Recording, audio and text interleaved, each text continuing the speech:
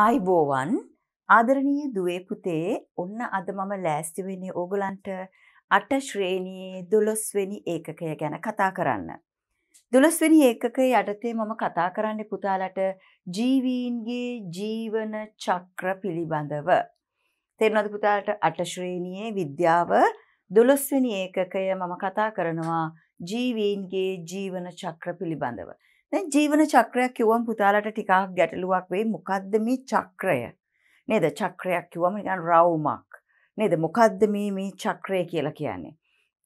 අහලා නෑනේ පුතාලා ඉස්සෙල්ලා. ඉතින් ඒ නිසා තමයි පුතේ මේ පාඩම යටතේ මෙන්න මේ අලුත්ම අලුත් මාතෘකාව ගැන කියලා දෙන්න මම ලෑස්ති වෙන්නේ. ඉතින් පුතාලා හොඳින් අහගෙන ඉන්න, හොඳට අවබෝධ කරගන්න. එතකොට පුතාලට මේ ජීවන චක්‍රයක් කියන්නේ මොකක්ද කියන එක පැහැදිලිව අඳුනගන්න පුළුවන්. පැහැදිලි නේද පුතාලට? හරි. දැන් ඔන්න මම බලමු මේ මාතෘකාව යටතේ මොනවද අපි කතා කරන උපමාතෘකා කියලා. අපි උපමාතෘකා කීපයක් යටතේ මේ ජීවන චක්‍ර කියන මාතෘකාව ගැන කතා කරනවා. අපි කතා කරනවා පුතාලා සතුන්ගේ ජීවන චක්‍ර කියලා වෙනමම මාතෘකා. ඒ කියන්නේ දැන් ජීවීන් කිව්වම ශාක සතුන් කියන මේ දෙකොට්ටාංශයම අයිති වෙනවනේ. ඉතින් මේ දෙකොට්ටාංශයේම අපිට එකටම කතා කරොත් පුතාලට පැටලෙන්න පුළුවන්. ඉතින් ඒ නිසා අපි මොකද කරන්නේ පුතාලා? ඉස්සෙල්ලම සතුන්ගේ ජීවන චක්‍ර පිළිබඳව අපි කතා කරනවා. සතුන්ගේ ජීවන චක්‍ර ගැන කතා කරලා ඊට පස්සේ අපි ඔන්න ඊළඟ කොටසේදී කතා කරනවා ශාකවල ජීවන චක්‍ර පිළිබඳව. සතුන්ගේ ජීවන චක්‍ර ටික කතා කරනවා ශාකවල ජීවන චක්‍ර ටිකත් අපි කතා කරනවා. ඊළඟට ජීවන චක්‍ර පිළිබඳ අධ්‍යයනයේ වැදගත්කම නේද? ඇයි අපිට මේ ජීවන චක්‍ර හදාරන්න අවශ්‍ය වෙන්නේ? දැන් ඔයගොල්ලෝ බලා ඉඳගෙන සතෙක්ගේ ජීවන චක්‍රයක් අපි ඉතින් දැනගත්තා කියලා මොනවා කරන්නද නේද? ඒ සතා ඉපදෙනවා, ඒ සතා මැරෙනවා. මේ ජීවන චක්‍රයක් ගැන එක එක සතුන්ගේ අපි මොකටද මේක අධ්‍යයනය කරන්නේ? අපේ ජීවන චක්‍රය අපි දැනගෙන හිටියම ඇතිනේ. ওই වගේ ප්‍රශ්න ගොඩක් පුතාලට මතුවෙන්න පුළුවන් නේද? ඔන්න ඔය ප්‍රශ්න වලට උත්තර ලියන්න අපි මෙන්න මේ තුන්වෙනි උපමාතෘකාව යටතේ ඒ ගැන කතා කරන්න ලෑස්ති වෙනවා පුතාලා ජීවන චක්‍ර පිළිබඳ අධ්‍යයනයේ වැදගත්කමක් ගැන තමයි අපි ඒ මාතෘකාව යටතේ කතා කරන්නේ. තේරෙනව නේද පුතාලට එහෙනම් ඔන්න ඔය කියන උපමාතෘකා ටික අපි කතා කරනවා මේ ජීවන චක්‍ර කියන ප්‍රධාන මාතෘකාව යටතේ.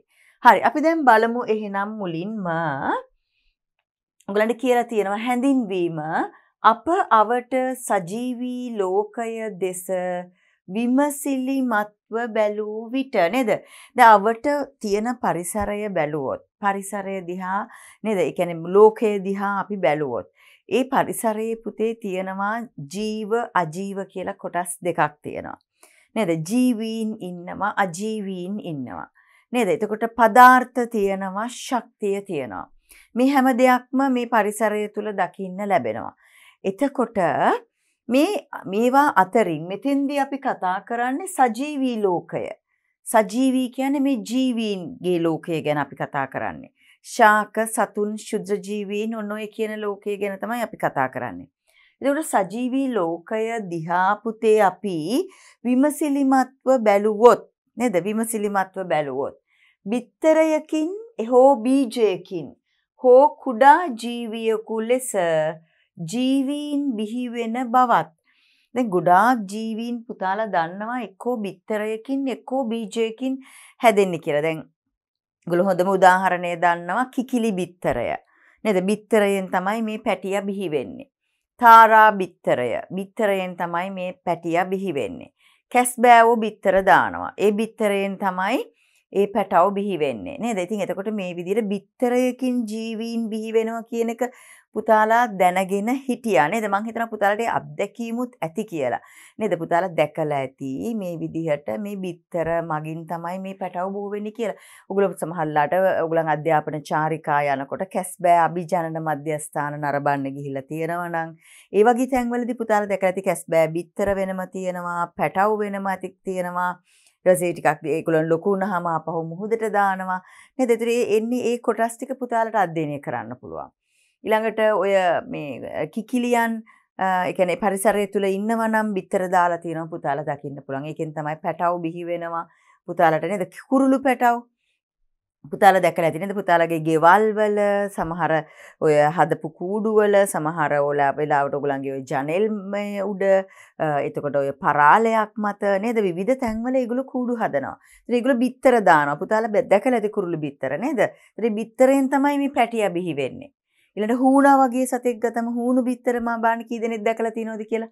දැකලා ඇති නේද? හැම දෙනාම දැකලා නැති වුණාට පරිසරය ගැන විමසිලිමත්ව බලන මගේ දූල පුතාලා නම් දැකලා තියෙන ඕනේ නේද අනිත් අය දැක්කේ නැති වුණාට පරිසරය ගැන අවධානයෙන් ඉන්න දූල පුතාලා මේ බිත්තර දැකලා තියෙන්න ඕනේ. එතකොට පුතාලා මේ විදිහට මේ බිත්තරයෙන් තමයි මේ ජීවියා බිහි වෙන්නේ. ඒතර ඒ විදිහටම මේ ශාක ගත්තොත් එහෙම පුතාලා දැකලා ඇති. ඒ කියන්නේ හැම ජීවියම බිත්තරයෙන් බිහි වෙන්නේ නැහැ. සමහර ජීවීන් ඉන්නවා. එතකොට ඒ කියන්නේ බිත්තර විදිහට නෙමෙයි පැටව් විදිහට බිහිවෙන ජීවීන් ඉන්නවනේ. දැන් ওই පූසා, බල්ලා, මිනිසා වගේ ගත්තම ඒගොල්ලන්ට බිත්තර නැහැ. ඒගොල්ලෝ පැටියා බිහි කරන්නේ නේද? එහෙම කොට්ටාශයකුත් ඉන්නවා. එතකොට ඊළඟට මේ බිත්තරයකින් ජීවියා බිහි වෙනවා වගේමයි පුතේ ඊට දැන් අපි ශාක ගත්තොත් එහෙම බීජයකින් මේ ශාකය බිහි වෙන්නත් පුළුවන්. තේරෙනවද පුතාට බීජයකින් මේ ශාකය බිහි වෙන්න කියන්නේ බොහෝ මේ ශාක බිහි වෙන්නේ බීජයකින්. ඒ කියන්නේ දැන් ඔගුලුන් ගත්තොත් එහෙම අඹ ශාකය, අඹ බීජයෙන්, අඹ ඇටයෙන් බිහි වෙන්නේ නේද? එතකොට අපි ගත්තොත් එහෙම අපි තව බීජ හිටන මිරිස් වල නේද? බටු වගේ ශාක ගත්තම. ඉතින් හැම එකක්ම බීජ මගින් මාළු මිරිස් ශාක කියන්නේ මාළු මිරිස්, මිරිස්, බටු නේද? තක්කාලි ඔය කියන හැම ශාකයක්ම බීජ මගින් තමයි මේ කියන්නේ පැලය හදන්නේ නේද? ශාකය හදන්නේ ඔගොල්ලෝ ගොඩාක් ගෙවතු වගා කරලා ඇතිනේ ගොඩක් දූල පුතාලා. ඒතර දන්නවා නේද? ඉතින් මේ වගේ දේවල් අත්දැකීම් තියෙනවා වට්ටක්කා සමහර අයගේ හොඳට ඒ ගෙවතු වගාවල මේ දේවල් බලා ගන්න පුළුවන් නේද? වට්ටක්කා ශාකය, බණ්ඩක්කා ශාකය. ඔය බහුලව ගෙවල් වල වගා කරන ශාකනේ. ඉතින් එතකොට ඒවෙන් අර බීජ මගින් තමයි මේ ශාකය බිහි වෙන්නේ. එතකොට පුතාලා ඒ කියන්නේ සමහර සතුන් බිහි වෙනවා බිත්තර මගින් වගේම බීජ මගින් සමහර ශාක බිහි වෙනවා නේද? ඒතර ඒ වගේ බීජ මගින් හෝ සතුන් මේ මේ බිත්තර මගින් මේ විදිහට ජීවීන් බිහි වෙනවා පුතාලට බලා ගන්න පුළුවන්. සමහර මේ ශාක තියෙනවා දැන් අර මං කියවනේ බිත්තර මගින් බිහි වෙන්නේ නැති ජීවීන් ඉන්නවා. ඒගොල්ලෝ පැටව මගින් තමයි බිහි වෙන්නේ. එතකොට පුතේ මේ සමහර ජීවීන් ඉන්නවා. එතකොට අර බීජ මගින් තමයි බිහි වෙන්නේ. නමුත් බීජ මගින් බිහිවෙන මේ හැමෝම බීජ මගින් බිහිවෙන්නේ නෑ සමහර අය තියෙනවා මුල් මගින් කැන මේ අලු ශාකයක් හදන්න පුළුවන් අතු හිටවල අලුත් ශාකයක් හදන්න පුළුවන් ඊළඟට සමහර වෙලාවට ගැන විවිධ වර්ධක කොටස් මගින් අලුත් ශාක බිහි කරන්න පුළුවන් නේද? ඉතින් ඒ වගේ දේවල් පුතාලා අහලා තියෙනවා. ඉතින් ඒකට ඒක එක විදිහට නවජීවීන් බිහි කිරීමේ හැකියාව තියෙනවා නේද? දැන් අපිට කියනවා අපාවට සජීවී ලෝකය දෙස විමසිලිමත්ව බැලුවොත් බිත්තරයකින් හෝ බීජයකින් හෝ කුඩා ජීවියෙකු ලෙස ජීවීන් බිහි වෙන බවත් නේද? ඉන්පසු විවිධ වූ වර්ධන අවදි ගත කරන බවත්. ඒ කියන්නේ එක්ක බිත්තරයකින් ජීවියා හැදුනට පස්සේ පුතේ විවිධ වර්ධන අවදි ගත කරනවා. දැන් අපි ගෙම්බෙක් වගේ ගත්තොත් හිතන්න ගෙම්බා බිත්තර දානවා ජලයේ. ගෙම්බ සාමාන්‍යයෙන් වැඩිපුර ඉන්නේ ගොඩබිමනේ ජලයේත් එයා ජීවත් වෙනවා. බිත්තර දානවා ජලයේ. දැන් මම ජලයේ ඒ ජලය තුල ඒ බිත්තර වලින් හැදෙනවා ඉස් ගෙඩියෝ. අර ඊට වඩා වෙනස්. ගෙම්බට වඩා හාත්පසින් වෙනස් අවස්ථාවක්. ඉස් ගෙඩියා ජලය තුල හරියට චුටි මාළු පැටියෙක් වගේ. ජලය තුල තමයි යා වාසය කරන්නේ. ඊට ඉස්ගෙඩිය ටික ටික ටික ටික ලොකු වෙනකොට ලොකු වෙනකොට මොකද වෙන්නේ පුතේ? ආයි සුහුඹුල් ගෙම්බෙක් බවට පත් වෙනවා. ඒතර ඔන්න ඔය විදිහට ජීවන චක්‍රයේ මේ එක එක අවස්ථාවන් ඒගොල්ලෝ පසු කරනවා පුතාලට බලා ගන්න පුළුවන් ජීවන චක්‍රයක්. කියන්නේ යා ඉපදිච්ච අවස්ථාවේ ඉඳන් මරණයට පත්වන තුරු එයා ජීවිතයේ ගත කරන අවදි හෝ අවස්ථා අනුපිළිවෙල අපි කියනවා ජීවන චක්‍රයක් කියලා. දැන් ගෙම්බා බිත්තරය බිත්තර දානවා. දැන් බිත්තරයෙන් තමයි ඔන්න ඉස්ගෙඩිය බිහි වෙන්නේ. උපත නේද? උපතේ සිට මරණය දක්වා. ඉස්ගෙඩියා ලොකු වෙලා තමයි සුහුඹුල් ගෙම්බෙක් බවට පත් වෙන්නේ. ඊට පස්සේ සුහුඹුල් ගෙම්බ තමයි ආයි බිත්තර දාන්නේ නේද? දාලා ඊට පස්සේ කාලෙකදී මරණයට පත් වෙනවා. මේ සම්පූර්ණ අවස්ථා අනුපිළිවෙල පුතේ අපි හඳුන්වනවා ජීවන චක්‍රයක් කියලා. උපතේ සිට මරණය දක්වා ඕනෑම ජීවියෙක් තම ජීවන ජීවිතයේ ගත කරන අවදි හෝ අවස්ථා අනුපිළිවෙල අපි හඳුන්වන්නේ ජීවන චක්‍රයක් කියලා. එතකොට හෝ කුඩා ජීවියෙකු ලෙස ජීවීන් බිහිවෙන බවත් ඉන්පසු විවිධ වූ වර්ධන අවදි ගත කරන බවත් නිරීක්ෂණය කළ හැකිය. ඊට පස්සේ විවිධ විවිධ වර්ධන අවදි ගත කරනවා නේද? ගත කරන බවත් නිරීක්ෂණය කළ හැකිය. පරිණත අවදියට පත් වූ පසු ජීවියා ප්‍රජනන ක්‍රියාවලිය මගින් තම වර්ගයා බෝ කරයි. තේරෙනවද පුතාලා දැන් අර විදිහේ වර්ධන අවදි විවිධ අවස්ථා ගත කරනවා. එයා පරිණත වුණාට පස්සේ කියන්නේ සුහුඹුල් ගෙම්බෙක් බවට පත් වුණාට පස්සේ එයා ඔන්න ආයි බිත්තර දාන්න පටන් ගන්නවා නේද? එතකන් එයා බිත්තර දාන්නේ නැහැ. එයා පරිණත ජීවියෙක් බවට පත් වුණාම තමයි බිත්තර දාන්නේ. ශාකය බීජයක්කින් පැල කරලා චූටි පැලයක් හැදුනට ඒකේ ගෙඩියෙන්නේ නැහැ පුතේ. ඒක හොඳට මෝරලා මෝරලා මෝරලා විශාල ගසක් බවට පත් වුණාට පස්සේ තමයි ඒකේ පළ හටගන්නේ. ඒ පළවල තමයි බීජ තියෙන්නේ. ඒ බීජ හිටවල තමයි ආයි නැවත පැල ලබා ගන්න. තේනද පුතාලට ඒ විදිහට මේ පරිණත අවදියට පත් වූ පසු ජීවියා ප්‍රජනන ක්‍රියාවලිය මගින් තම වර්ගයා බෝ කරනවා. තේනද පුතාලට තම වර්ගයා බෝ කරනවා. මෙය චක්‍රානුකූලව සිදුවේ. මේක හරියට චක්‍රයක් වගේ දිගටම දිගටම දිගටම දිගටම සිද්ධ වෙනවා පුතේ. එමගින් ජීවීහු පරිසරය තුල තම වර්ගයාගේ පැවැත්ම තහවුරු කරගනිති. මේ විදිහට ජීවීන් ජීවන චක්‍රයේ මේ කියන්නේ පරිණත අවස්ථාවට පත් වෙලා ප්‍රජනනය කියන ක්‍රියාවලිය සිදු කරලා තම වර්ගයා බෝ කරන්න පටන් ගත්තම මොකද වෙන්නේ පුතේ? එයාට පැවැත්ම තහවුරු කරගන්න පුළුවන්. ඒ විදිහට එයා ප්‍රජනනය කළා වර්ගයා බෝ කරේ නැත්තම් එතනින් එහාට පැවැත්මක් තියනවද? එතනින් එහාට පැවැත්මක් නැහැ. ඇයි? තව ජීවින් නැහැ ඉස්සරහට ගෙනියන්න. අර පරිණත ජීවීන් ටික මැරිලා ගියාට පස්සේ ආපහු තව අය නැහැ. ඒ නිසා අනිවාර්යෙන්ම මේ ජීවීන් මේ ජීවන චක්‍රයේ මේ අවස්ථා ටික පසු කළ යුතුමයි. නේද? ඒ පසු කරනකොට සුහුඹුල් අවදියටපත් වුණාට පස්සේ පරිණත වුණාට පස්සේ ප්‍රජනනය කියන ක්‍රියාවලිය සිදු කිරීම මගින් තමයි මේ චක්‍රය සම්පූර්ණ කරගන්න අපිට පුළුවන් වෙන්නේ. පැහැදිලි නේද පුතාලට? හරි. දැන් එහෙනම් අපෙන් අහනවා ජීවන චක්‍රයක් යනු කුමක්ද කියලා. දැන් මං කියලා දුන්නානේ කියන්න පුළුවන් නේද පුතාලට මොකද්ද ජීවන චක්‍රයක් කියලා කියන්නේ? මං කිව්වයි. යම් ජීවියෙකු තම ජීවිත කාලය තුල නේද පසු කරන අවදි හෝ අවස්ථා අනුපිළිවෙල ජීවන චක්‍රයක් කියලා අපිට කියන්න පුළුවන්. හරි අපි ලියමුද එහෙනම්? හරි පුතාලා. අපි ලියමු එහෙනම් ජීවන චක්‍රයක් යනු ජීවියෙකු ජීවියෙකු තම ජීවිත කාලය තම ජීවිත කාලය තුල ජීවියෙකු තම ජීවිත කාලය තුල පසු කරන පසු කරන අවදි හෝ අවස්ථා අනුපිළිවෙල. අවදි හෝ අවස්ථා අනුපිළිවෙල. ජීවන චක්‍රයක් වේ.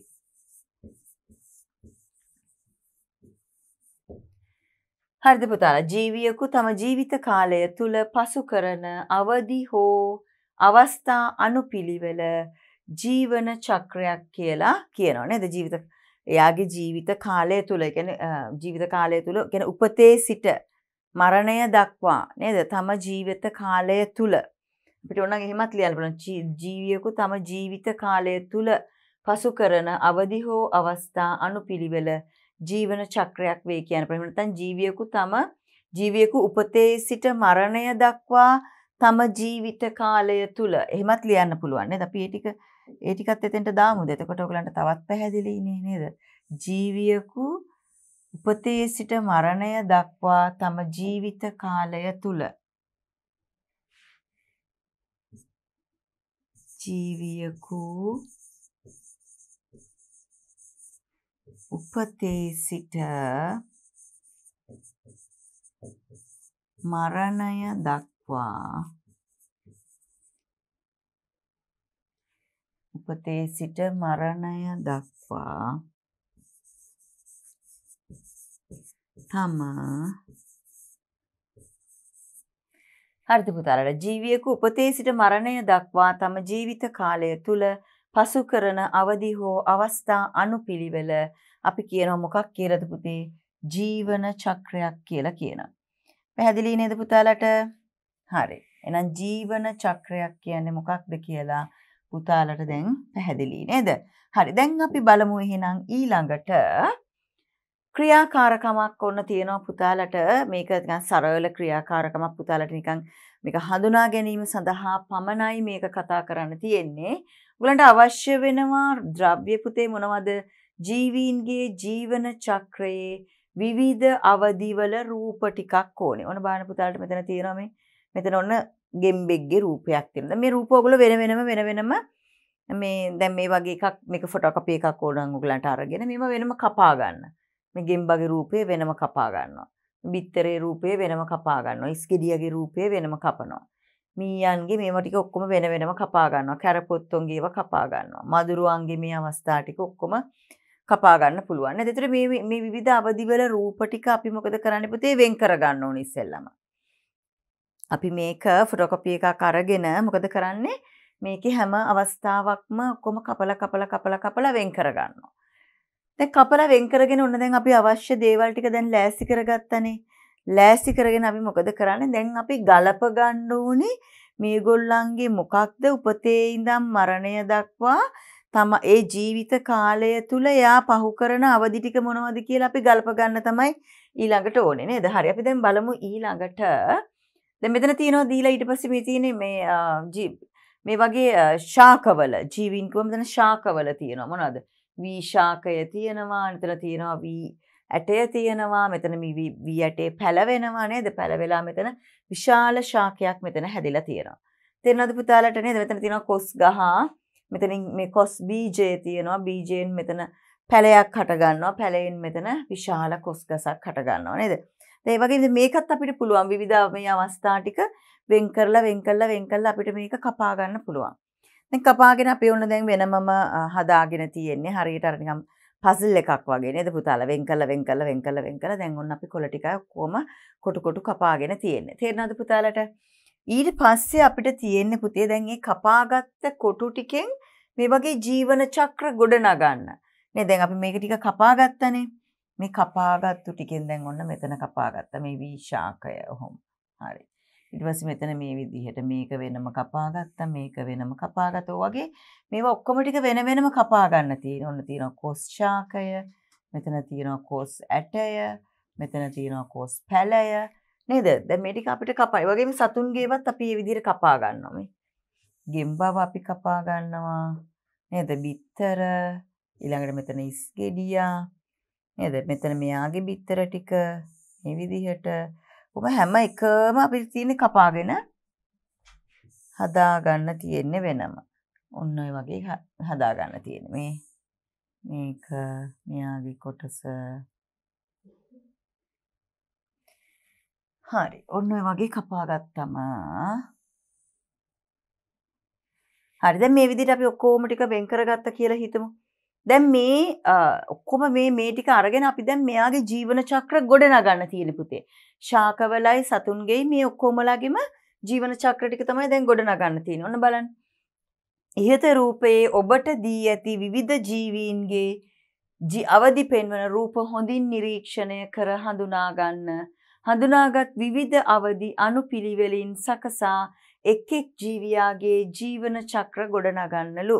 ඔන්න දැන් අර මැඩියගේ රූපය අපි මෙතනින් ගෙනල්ලා තියලා දැන් පුතාලට පුළුවන් මේක කරන්න නේද? මැඩියගේ රූපය අපි මෙතනින් ගෙනත් තියනවා මේ විදිහට. ඔන්න බිත්තරවල රූපය. මෙතනින් තිබ්බ ඊට පස්සේ ඉස්කෙඩියගේ රූපය. නේද? ওই විදිහට දැන් මේකේ මොකද වෙන්නේ පුතේ? ජීවන චක්‍රය අපිට ගොඩනගා ගන්න පුළුවන් නේද? මම මෙතන ඉන්න බිත්තර දානවා බිත්තර වලින් ඉස්ගෙඩියෙ බිහි වෙනවා ඉස්ගෙඩියගෙන් ආපහු සුහුඹුල් ගෙම්බා හට ගන්නවා. ওই විදිහට මැඩියාගේ ජීවන චක්‍රය දැන් මෙතන තියෙනවා. මේ මීයාගේ ජීවන චක්‍රය. මීයා ඒ වගේ නෙමෙයි. මීයා පැටියෙක් දානවා. පැටියගෙන් ආපහු මේ පැටියා ලොකු වෙලා ආයි සුහුඹුල් මීයෙක් හැදෙනවා. නේද? ඒතර මෙයාට වඩා එක වෙනස් ජීවන චක්‍රය වෙනස් නේ. දැන් මෙතන අවස්ථා ටික පේනවා නේද පුතාලට? දැන් ඒ වගේ දැන් අනිත් අයගෙත් පුළුවන් මේ විවිධ අවදි අනුපිළිවෙලින් සකසා එක් එක් ජීවියාගේ ජීවන චක්‍ර ගොඩනගන්න කියලා කියන්නේ. ඒ විදිහට අනිත් අයගෙත් පුළුවන් නේද? මෙන්න බලන්න කැරපොත්තා. පේනවද මෙතන මේ කැරපොත්තගේ මෙතන තියෙනවා බිත්තර ටික අපි අර පින්තූර ගෙනලා මෙතනින් තියෙනවා. ආයි මෙතනින් එනවා මේ චක්‍රයක් නේ පුතේ ඒකයි මේක රවුමට අපි ගොඩනගලා තියෙන්නේ. දැන් ඉස්සෙල්ලා නිකම්ම පින්තූර ටිකනේ තිබ්බේ. දැන් චක්‍රයක්. මෙයාගෙන් තමයි මෙයාව හටගන්නේ. මෙයාගෙන් තමයි මේ සුහුඹුල් කැරපොත්ත හටගන්නේ. තේරෙනවද පුතාලට මේ ජීවන චක්‍රයක්. නේද? මෙයා චක්‍රයක් විදිහට යන ආයි මෙයා බිත්තර දානවා. එයාගෙන් මේ පැටියෙක් බිහි වෙනවා. නේද? එයාගෙන් ආපහු එයා සුහුඹුල් එක්කෙනෙක් වෙනවා. ආයි බිත්තර දානවා. ඕක තමයි දිගටම දිගටම දිගටම ක්‍රියාත්මක වෙන්නේ. ඊට පස්සේ බලන්න මදුරුවා නේද? මදුරුවාගේ බලන්න මදුරුවා බිත්තර දානවා. නේද? මදුරු බිත්තරෙන් එනවා මේ වගේ චූටි මේ කීටෙක් එනවා. ඒ කීටයාගෙන් ආපහු එයා ලොකු වෙලා පිලවෙක් හට ගන්නවා. ඒ පිල වගෙන් ආපහු මේ විදිහට සුහුඹුල් මදුරුවෙක් හට ගන්නවා. තේරෙනවද පුතාලට? නේද? දැන් ඔය විදිහට මොකද වෙන්නේ? දැන් ඒකෙත් අර චක්‍රයක් යන්නේ. බිත්තර වලින් යනවා මේ විදිහට කීටයා, කීටයාගෙන් යනවා පිලවා, පිලවගෙන් යනවා සුහුඹුල් මදුරුවා. ඔය විදිහට ජීවන චක්‍ර ගොඩනගන්න පුළුවන්. දැන් ශාකේත් පුළුවන් නේද අපිට? මේ බලන්න වී ශාකයේ නේද? ඔන්න බලන්න ඉස්සලම තියෙනවා වී ඇටය පැලවෙනවා මේ තියෙන පැලවෙච්ච පොඩි අර ගොයම් ගස නේද? ගොයම් ගස පැලවෙන අවස්ථාව මේ තියෙන දැන් ලොකු ශාකයක් බවට පත් වෙලා මෙයා. පේනවද පුතාට මේ ලොකු ශාකයක් බවට පත් වෙලා තියෙන්නේ දැන්. නේද? ඒතර මේක තමයි එයාගේ චක්‍රය. කොස් ගහේ බලන්න.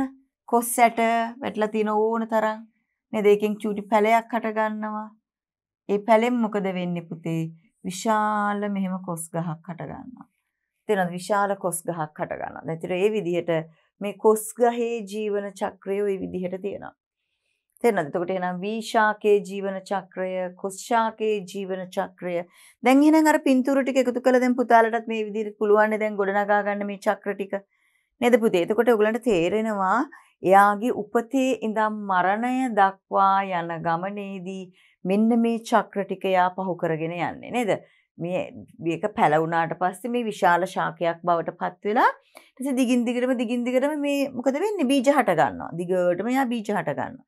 බීජ හටගෙන හටගෙන හටගෙන හටගෙන යා පරිණත වුණාට පස්සේ මැරිලා යනවා. ඒක තමයි යාගේ ජීවන චක්‍රය.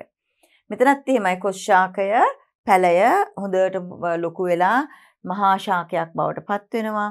මහා ශාකයක් බවට පත් වෙලා ඊට පස්සේ මොකද වෙන්නේ පුතේ? සුහුඹුල් ශාකය ඊට පස්සේ මොකද වෙන්නේ? බීජ හට ගන්නවා. ඉතින් ඒක දිගටම යා කාලයක් තිස්සේ මේ බීජ මේ හට ගන්නවා. දිගටම කාලයක් තිස්සේ බීජ හට ගන්නවා. ඒ හට ගන්නා බීජ ආපහු මොකද වෙන්නේ? පැල වෙලා මේ වගේ කුඩා පැලයක් හටගන්න පුළුවන්. තේරෙනවද පුතාලට දැන් ওই වගේ නේද?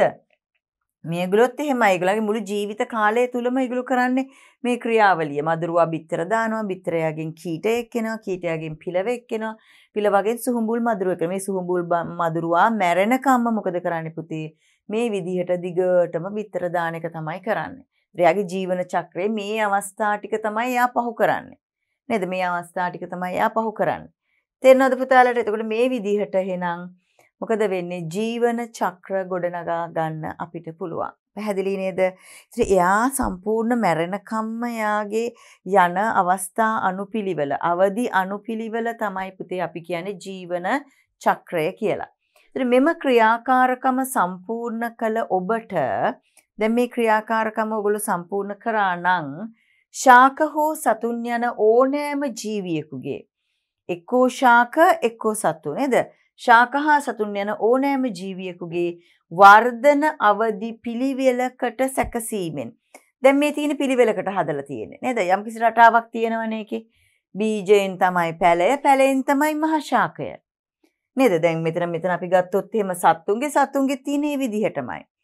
බිත්තර දැම්මා කීටය ආවා කීටයාගෙන් පිලවාවා පිලවගෙන් සුහුඹුල් මදුරු ආවා මේක රටාවක්නේ තියෙන්නේ. මේක මේ සුඹුල් මදුරුවා එන්න බෑනේ මෙතෙන්ට කොහොමත් බිත්තරෙන් එකපාරට සුඹුල් මදුරුවෙක් එන්නේ නැහැ. ඒ නිසා යම් රටාවකට තමයි අපි ඒක හදලා තියෙන්නේ නේද පුතේ? යම් රටාවකට හදලා තියෙන එකයි කියන්නේ මෙම ක්‍රියාකාරකම සම්පූර්ණ කළ ඔබට ඔයගොල්ලෝ මේක සම්පූර්ණ කරා නම් දැන් මම පුතාලට කිව්වනේ වෙන වෙනම කපා ගන්න. කපලා මේක වෙන විදිය හදන්න. හැදුවා නම් පුතාලට මේ විදියට තමයි එන්නේ. දැන් පුතාලා A4 කොලයක මේ විදිහට කපලා මේක හදාගන්න පුළුවන්. පුතාලට දැන් අච්චු පොතේ තියෙන එක ෆොටෝකොපි කරගන්නවා, ෆොටෝකොපි කරගෙන කපනවා. කපලා A4 කොලේක ඔයගලන්ට මේ ජීවන චක්‍ර ටික කොහොම හදාගන්න පුළුවන්. හැමෝම හදන්න. එතකොට තමයි ඒක අර ඔළුවට යන්නේ පුතාලාගේ නේද? ශාක හෝ සතුන් යන ඕනෑම ජීවියෙකුගේ වර්ධන අවදි පිළිවෙලකට සැකසීමෙන් ඔවුන්ගේ ජීවන චක්‍ර ගොඩ නැගිය හැකි බව අවබෝධ වන්නට ඇත. ඒ කියන්නේ ඒක පිළිවෙලකට සකස් කරාම මේ වර්ධන අවදි මොකද වෙන්නේ පුතේ මේ ජීවන චක්‍ර ගොඩනගා ගන්න පුළුවන් කියලා අපිට අවබෝධ වෙනවා මේ විදිහට නේද? ඒතර දිගින් දිගටම යාගේ ජීවිත කාලය තුල මේ විදිහට තමයි යා අවදි පහු කරන්නේ. නේද? දැන් ඒක නිකන් තේරෙනවනේ ඔයගලන්ට යම් කිසි දෙයක් මෙතන චක්‍රාකාරව සිදු වෙනවා කියන එක ජීවිත කාලය තුල නේද? හරි. දැන් අපි බලමු එහෙනම් ඊළඟට සතුන්ගේ ජීවන චක්‍ර. දැන් අපි හරි දැන් අපි එතන කරේ පින්තූරාශ්‍රයෙන් ගොඩනගා ගත්තා. නේද පුතාලා? පින්තූරාශ්‍රයෙන් අපි දැන් ගොඩනගා ගත්තා එතන. කොහොමද මේ ජීවන චක්‍ර කියන එක සිද්ධ වෙන්නේ කියලා. දැන් අපි කතා කරන්න යන්නේ පුතේ ක්‍රියාකාරකමක් කරන්න යන්නේ සතුන්ගේ ජීවන චක්‍ර පිළිබඳ අධ්‍යයනය කිරීම. හරි පුතාලා. දැන් එතකොට එහෙනම් අපිට අධ්‍යයනය කිරීම සඳහා මේ විදිහේ ජීවන චක්‍ර මේ වගේ රූපී රූප සටහන් ආශ්‍රයෙන් රූපීයව මේ නිරූපණය කරපු ජීවන චක්‍ර සහිතව සටහන් ටිකක් අපිට අවශ්‍ය වෙනවා. කියන්නේ රූප සටහන් වලින් මේ ජීවන චක්‍ර නිරූපණය කරපු අපිට මේ පින් මේ කියන්නේ කොළ ටිකක් අපි ඉස්සලා සපය ගන්න ඕනේ නේද? ඒතර එහෙම අරගත්තම තමයි පුතේ අපිට මේක හරියට නිරීක්ෂණය කරලා අධ්‍යයනය කරන්න පුළුවන් වෙන්නේ. දැන් මෙතන තියෙනවා පුතාලට මොකද්ද සමනලයාගේ ජීවන චක්‍රයේ ඇතුළත් වෙන රූප සටහන් සහිත මේ වගේ දල සටහනක් පුතාලට බලා ගන්න පුළුවන්. ඉතින් සමනලයා බිත්තර දානවා. මෙතන ඉතින් සමනලයා බිත්තර දාන සුහුඹුල් සමනලයා නේද බැඩුණු සුහුඹුල් සමනලයා මෙතන බිත්තර දාලා තියෙනවා. බිත්තර වලින් පිහි වෙනවා දලඹුවෙක්. බිත්තර වලින් කවුද පුතේ බිහි වෙන්නේ? දලඹුවෙක් බිහි වෙනවා. මේ දලඹුවාගෙන් මෙතන කෝෂ්ඨයක් හට ගන්නවා. මොනවද හටගන්නේ?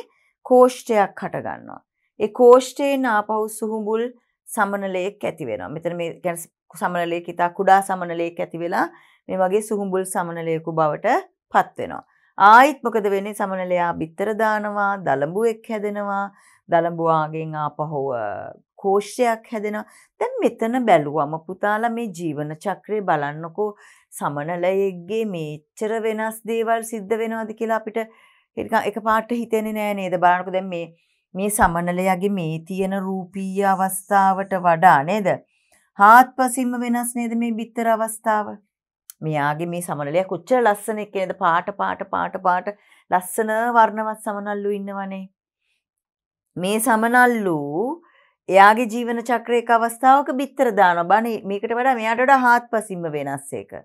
බිත්තර ටික බලන්නකො වෙන්නේ මොකද්ද කියලා පුතේ. බිත්තර පුපුරලා කාලයකදී කවුද හැදෙන්නේ? මේ සමනලයට වඩා කොච්චර වෙනස් සතෙක්ද හැදෙන්නේ බලන්නකො. මොකෙද්ද හැදෙන්නේ දලඹුවෙක් හැදෙනවා. මේ නේද? දලඹුව බලන්න කොච්චර වෙනස්ද කියලා. සමනලයටයි බිත්තරවලටයි දෙකටම වඩා වෙනස් එක්කෙනෙක් නේ. දැකලා තියෙනවනේ පුතාලා මේ දලඹුව. නේද? එතකොට අර වෙනස්ම අවස්ථාවක් එතන තියෙන්නේ. ඊට පස්සේ බලනකො මේ දලඹුවා කාලයක් යනකොට මොනවා බවටද පත් වෙන්නේ පුතේ? මේ කෝෂ්ඨයක් හදා ගන්නවා මෙයා. මොකද්ද හදන්නේ මෙයා? මෙන්න මේ විදිහට කෝෂ්ඨයක් හදා ගන්නවා මේ කෝෂ්ඨය කියලා කියන්නේ හරි අක්‍රීය අවධියක් දැන් සමනලයා නම් ඉගිල්ලෙනවා. පියාසා يعني ඉගිල්ලි ඉගිලි යනවා මේ භෞමික පරිසර මේ වායෝ පරිසරය තුල. නේද? ඊටාම වර්ණවත් ජීවියෙක්. යා මල් පැණි තමයි ආහාරයට ගන්නෙ. නේද? බලන්න දැන් ඒතර ඊට වඩා හාත්පසින් වෙනස් බිත්තර. එයා බිත්තර දානවා ශාක පත්‍ර මත. එතකොට බිත්තර මේ ඒ කියන්නේ අර වගේ චලනය වෙන්නේ නැහැ සංචරණය කරන්නේ නැහැ නේද? ඒතර බිත්තර පුපුරලා ඊට පස්සේ දලඹුවෙක් එනවා. නේද? මේ දලඹුවා මෙයාට වඩා හාත්පසින්ම වෙනස් පාද රාශියක් තියෙනවා. නේද? මෙයා ශාක පත්‍ර තමයි ආහාරයට ගන්නෙ. නේද? එතකොට එයා මේ පාද ආධාර කරගෙන තමයි ඇවිදින්නේ. බාන්න මෙයාට වඩා කොච්චර වෙනස්ද කියලා. නේද? පාද ආධාර කරගෙන ඇවිදින්නේ. ඊට පස්සේ එයා කෝෂ්ඨ අවස්ථාව මෙයා අනික අධික ආහාර ප්‍රමාණයක් ගන්නවා පුතේ මේ දලඹුවා. ඊට පස්සේ එයා කෝෂ්ඨ අවස්ථාවට එනවා එයාගේ සම්පූර්ණ කෝෂ්‍ය ඒ කියන්නේ කෝෂ්ඨයකින් වට වෙනවා එයාගේ ශරීරයේ කෝෂයක් වගේ හැදෙනවා එතන අක්‍රීයව ඉන්නවා ඒ කාලය තුල ආහාර ගන්නෙ නෑ සංචරණය කරන්නේ නෑ ශාක පත්‍රයකට ඇලිලා තමයි යා ජීවත් වෙන්නේ බලන්න මේ අවස්ථා හතර එකකට එකකට එකකට එකක් වෙනස් නේද? නේද? එයා ඉපදුනකොටම නේද? දැන් එයාගේ දැන් ජීවන මෙයා තමයි මේ පළවෙනි අවස්ථාව. ඒකට වඩා දෙවෙනි අවස්ථාව ගොඩාක් වෙනස්. තුන්වෙනි අවස්ථාව ඊටත් වඩා වෙනස්. හතරවෙනි එක ඒ ඔක්කොටම වඩා හාත්පසින්ම වෙනස් අවස්ථා. හරි. එතකොට දැන් මේක පැහැදිලි නේද පුතාලට? දැන් එතකොට මේ විවිධ අවස්ථා පුතාලට නිරීක්ෂණය කරන්න පුළුවන්. දැන් පුතාලට නිරීක්ෂණය කරන්න පුළුවන්. මේවා එතකොට පුතාලා හොයා ගන්න ඕනේ. දැන් ඔයගොල්ලෝ මොකද කරන්නේ ගෙදරදී මේ දලඹුව ඉන්නවා මේ ශාක පත්‍රවල ඉන්න ඕන තරම් දලඹුව හොයාගන්න පුළුවන් පුතාලට. පුතාලා මේ දලඹුව දලඹුවේ කරගෙන ලොකු බෝතලයක් අරගෙන ඒ බෝතලේ හඳුන් කූරකින් වටේටම සිදුරු කරලා වටේටම සිදුරු කරන්න හඳුන් කූරකින් පුතේ. ගොඩාක් මහත කරන්න එපා. එතකොට දලඹුවට එළියට යන්න පුළුවන්. හඳුන් කූරේ ප්‍රමාණයටම සිදුරු කරන්න. මූඩිය වටේ ඔක්කොම සිදුරු කරන්න. සිදුරු කරලා හොඳට ශාකපත්‍ර ගොඩක් දාලා අර දලඹුව ඒක ඇතුළට දාන්න. නේද දලඹුවෙක් හොයාගෙන ඒක ඇතුළට දාලා අර මූඩිය වහලා තියලා තියන්න. ඒත් හැබැයි හොඳට බලන්න ශාකපත්‍ර ඉවර වෙනවා නම් තව ශාකපත්‍ර දාන්න ඕනේ. මොකද දලඹුව අධික ලෙස ආහාරයට ගන්නවා ශාකපත්‍ර. මේකට ගොඩක් ඝනකම ශාකපත්‍ර දාන්නෙත් නෑ. ටිකක් තුනී ශාකපත්‍ර තමයි මේකට දාන්නේ. ගොඩක් ওই කතුරු මුරුංගා ගස්වල, ඒ වගේ ගස්වල ගොඩක් වෙලාවට මේ දලඹුව බලා ගන්න පුළුවන්. ඒ වගේ ශාකපත්‍ර ආහාරයට දෙන්න පුළුවන් නේද? එතකොට පුතාලා මේක කරන්න පරීක්ෂණය ගෙදරදී කරලා බලන්න. එතකොට පුතේ ඒකෙන් උගල ටික දවසක් යනකොට උගලන්ට දලඹුව හොයාගන්න නැති වෙයි. උගල බලයි දලඹුව මැරිලාද කියලා. උගලන්ට පෙනෙයි මෙතන මෙහෙම සුදු පාට හරි එක කහ පාට නේද? ඒ වගේ මෙහෙම කෝෂ්ඨයක් වටේට හදාගෙන නිකන් පොඩි කෝෂයක් තියෙනවා. මේ ශාකපත්‍රයක් මත පුතාලට බලා ගන්න පුළුවන්. එතකොට ආයි ශාකපත්‍ර දාන්න ඕනේ නැහැ. දැන් මේ කෝෂය ඔහොමම තියෙනවා. එහෙම තිබ්බට පස්සේ ටික කාලයක් මේ ටික දවසක් මේක තියෙනවා. තිබිලා ඔන්න ඊළඟ දවසේ බලනකොට පුතාලට පෙනේ ලස්සන සමනලයක් එළියට ඇවිල්ලා ඉන්නවා. ඊට පස්සේ මොකද කරන්න ඕනේ? හොඳට ශාක තියෙන තැනකට මේ බෝතලේ අරගෙන ගිහලා පියන ඇරලා සමනලයව එළියට දාන්න. එළියට දැම්මම ඒ සමනලය ලොකු වෙලා දවසක ආයි බිත්තර දාලා මේ දලඹුවෙක් බිහි වෙනවා. තේරෙනවද පුතාලට? ඕක තමයි පුතේ මේ සමනලයාගේ ජීවන චක්‍රය. අපි පොඩි වීඩියෝ එකක් බලමුද මේ වගේ මේ ජීවන චක්‍රයේ හැම අවස්ථාවක්ම පුතාලට එතකොට නිරීක්ෂණය කරන්න පුළුවන්. අපි මේ අවස්ථා හතරම නිරීක්ෂණය කරමුද? සමනලයාගේ ජීවන චක්‍රයේ සමනලය අවස්ථාව, බිත්තර අවස්ථාව, ඊළඟට දලඹුවා කියන අවස්ථාව. මේක දලඹුවා විවිධ වර්ණ වලින් කළු පාටයි ඉන්නවා, දුඹුරු පාට ඉන්නවා, කොළ පාට ඉන්නවා, විවිධ වර්ණ දලඹුවෝ ඉන්නවා. නේද? දලඹුව අවස්ථාව හා කෝෂ්ඨ අවස්ථාව කියන අවස්ථා තුනම අපිට නිරීක්ෂණය කරන්න පුළුවන් නේද? හරි අපි එහෙනම් පොඩ්ඩක් මේ වීඩියෝ දර්ශනය බලලා මේ අවස්ථා හතර පිළිබඳව මේ හතරේ තියෙන වෙනස පිළිබඳව පොඩ්ඩක් අධ්‍යයනය කරලා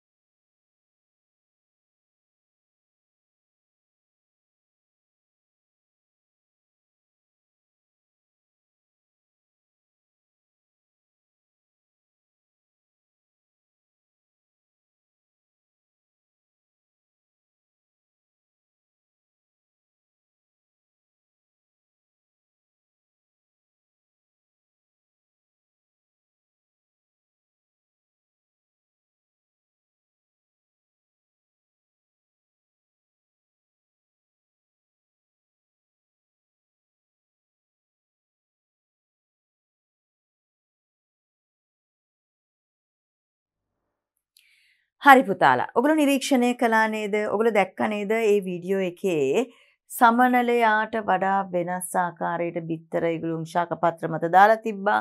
දලඹු ආකාර පුතාලා නිරීක්ෂණය කරා. කෝෂ්ඨය මොන වගේද කියලා පුතාලා නිරීක්ෂණය කළා. පැහැදිලි නේද? ඒතර මේක දැන් ඔන්න ඕගොල්ලෝ සජීවී අත්දැකීමම ලබා ගන්න පුළුවන්. බිත්තර විතරක් සමහර විට ඕගලන්ට හොයාගන්න බැරි වෙන්න පුළුවන්. නමුත් දලඹුවා හොයාගන්න පුළුවන්. නේද? ඉතින් ඒ නිසා බිත්තරත් සමහර දුල පුතාලට හොයාගන්න පුළුවන් මේ මොකද සමහර ගස්වල බෙහෙම බිත්තර බලා ගන්න පුළුවන් සමනලේ දාලා තියෙනවා ශාක පත්‍රවල නේද? ඒ විදියට මේම ජීවන චක්‍රයේ මේ මේ මේ කියන අවස්ථා ටික පුතාලට නිරීක්ෂණය කරන්න පුළුවන්. පැහැදිලි නේද? හරි. එතකොට අනිවාර්යෙන් මේ අත්දැකීම ලබා ගන්න පුතේ. දැන් අපේ ඉස්කෝල මම උගන්වන පන්තිවල නම් ඉස්කෝලවලදී මේ කියන්නේ බොහෝ වෙලාවට මම නම් ඒ පන්තිවල මේ ජීවන චක්‍රය ඒගොල්ලන්ට සජීවීව අත්දැකීම් ලබා ගන්න ඉඩ දෙනවා. ඉතින් ඔයගොල්ලොත් කරන්න. නේද? ඔයගොල්ලොත් මේ විදිහට ප්ලාස්ටික් බෝතලයක් අරගෙන හඳුන් කූරු වලින් සිදුරු හදලා හොඳට ඒකට කොළ දාලා දලඹුවෙක් ගෙනල්ලා දාලා නේද? කෝෂ්ඨේ නිරීක්ෂණය කරන්න. ඊළඟට ඔයගලන්ට පුළුවන් එකෙන් සමනලයා හැදෙනවා සමනලයා වරන් ගිහින් පරිසරයෙන් නිදහස් කරන්න. කොච්චර ලොකු අත්දැකීමක්ද බලන්න පුතාලට. නේද කොච්චර ලොකු අත්දැකීමක් තියෙනවද දැන් සමහරවිට දලඹුව කීප දෙනෙක් දාලා තිබුණා නම් සමහරවිට විවිධ වර්ණ සමනල්ලු වෙන්න පුළුවන් කහ පාට අය පාට පාට වෙන්න පුළුවන් සුදු පාට වෙන්න පුළුවන් ඔය විවිධ වර්ණ සමනලුන් එන්න පුළුවන්. ඒ වගේම ගෙම්බාගේ මේ මැඩියාගේ මේ ගෙම්බාගේ ජීවන චක්‍රය ගත්තොත් නේද ගෙම්බා දානවා බිත්තර පුතේ නේද? ඒතර මේ ගෙම්බා බිත්තර දානකොට මේ බිත්තර දැන් සාමාන්‍යයෙන් මේගොල්ලෝ දාන බිත්තර වගේ නේ මේක වැලක් වගේ තියෙන්නේ. මේක බිත්තරයක් ඇල්ලුවම මේක වැලටම අර බිත්තර 100ක් විතර එකට දානවා ඔක්කොම ටික එකට තියෙන්නේ පුතේ. ජලයේ දාන්න එක. පෙන පෙන පෙන පෙන වගේ තමයි අපිට පේන්නේ ඒක නිකන්. තේරුණාද? එතකොට ඒ වගේ මේ පොඩි ජෙලි එකක් වගේ ජල්ලිමය ආකාරයට තමයි අපිට නිරීක්ෂණය කරන්න පුළුවන්. ඒතර මේ බිත්තර සිය ගාණක් දැම්මම මේ ගෙම්බා ඉස්ගෙඩියු රාශියක් සිය ගාණක් එතනින් බිහි වෙනවා. ඉස්ගෙඩියු රාශියක් බිහි වෙනවා පුතේ. එතකොට ඒ ඉස්ගෙඩියු රාශියම මොකද වෙන්නේ? අපිට දැන් මේ කාලයක් යනකොට ඔයගලන්ට පේනවා මේ ඉස්ගෙඩියා ක්‍රමයෙන් මේ වගේ සුහුඹුල් ගෙම්බේ මේ වගේ ගෙම්බෙක් බවට පත් වෙන පුතාලට බලාගෙන බලන්න මේ දෙන්නගේ කොච්චර ලොකු වෙනසක්ද කියලා. මෙයාගේ තියෙන මාළුවෙක්ගේ හැඩය මෙයාගේ තියෙන ඊට වඩා හාත්පසින්ම වෙනස් හැඩයක්. ඒ වුණාට පුතාලා මේකේ මොකද වෙන්නේ මුලින් වලිගය ක්ෂීණ වෙනවා මේ විදියට පාද හට ගන්නවා නේද එතකොට ඒ විදියට මේ අතපය ඔක්කොම හටගෙන මුහුණ කොහොම වෙනස් වෙනවා පුතේ දැන් මෙතන මේ බිත්තර වලින් බිහි වෙන ඉස්ගෙඩියා කරමල් වලින් ශ්වසනය කරන්නේ මෙයා. කරමල් වලින් ශ්වසනය කරන්නේ මෙයාගේ සංචරණය මෙයා පිහිනලා යනවා මෙයා ශාක මේ තමයි ආහාරයට ගන්නේ දියසිවල් වගේ දේවල් තමයි ආහාරයට ගන්නේ නේද? නමුත් ගෙම්බා කියන එක්කෙනා ගත්තම එයා භෞමිකව තමයි වැඩිපුර වාසය කරන්නේ ජලෙත් වාසය කරනවා. මෙයා මාංශ භක්ෂකයි. මෙයා කෘමීන ආහාරයට ගන්නේ. මෙයාගේ සංචරණය ගොඩක් වෙලාවට පාද මගින් සිදු කරන්නේ පැන පැන යනවා. හැබැයි මෙයාගේ මේ පුතේ මේ මේ පිටිපස පාද දෙකේ මේ ඇඟිලි අතර තියෙනවා බැඳි පටල කියලා. පුතාලා දැකලා ඇති. මෙහෙම තියෙනවා ඇඟිලි මේ ඇඟිලි අතර තියෙනවා මෙන්න මේ බැඳිලා මෙහෙම බැඳි පටල කියනවා. මේ බැඳි පටල විදිහට මේක තියෙන නිසා මෙයාට පුළුවන් හොඳට පීනගෙන යන්න. අර වරලක් වගේ එක අරගෙන එයාට පීනගෙන යන්න පුළුවන් මේ ජලය තුල. ඒ අර බැඳි පටල තියෙන නිසා. තේරෙනවද පුතාලට? ඉතින් ඒ නිසා එතකොට අර යාගේ ජීවන චක්‍රයේ එක එක අවස්ථාවල ඒ වගේ වෙනස්කම් බලා ගන්න පුළුවන් නේද? දැන් මේ තියෙන ගෙම්බාගේ කියන අවධිය, ඔන්න තියෙනවා බිත්තර අවස්ථාව, මෙන්න තියෙනවා ඉස් ගෙඩි අවස්ථාව. තේරෙනවද පුතාලට? එතකොට ඔන්න ඔය විදියට මෙයාගේ බැලුවමත් දැන් පුතාලට පේනවා ජීවන චක්‍රයේ එක එක අවස්ථාවල් එකකට එකක් වෙනස්. නේද? එකකට එකක් වෙනස් අවස්ථාවල්. එකම වගේ නෙමෙයි. ඉතින් පුතාලට අපි එහෙනම් මේ ගෙම්බකෙත් මේ අවස්ථාවල් ටික පොඩ්ඩක් අපි වීඩියෝ දර්ශනයකින් බලලෙමුද? ඉතින් පුතාලට මේකත් හොඳ අත්දැකීමක් කරගන්න පුළුවන් නේද? හරි. අපි එහෙනම් පොඩ්ඩක් ගිහින් බලලෙමු.